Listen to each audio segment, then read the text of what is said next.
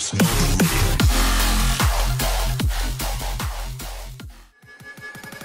is ground zero.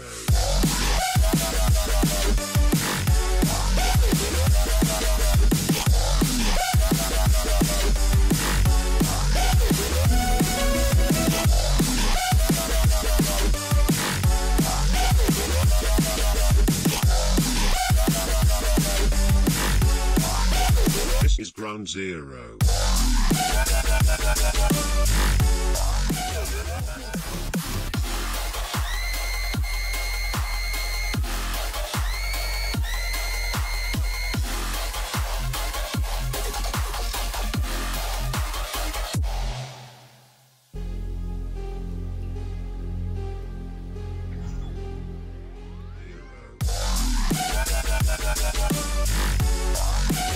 We'll be right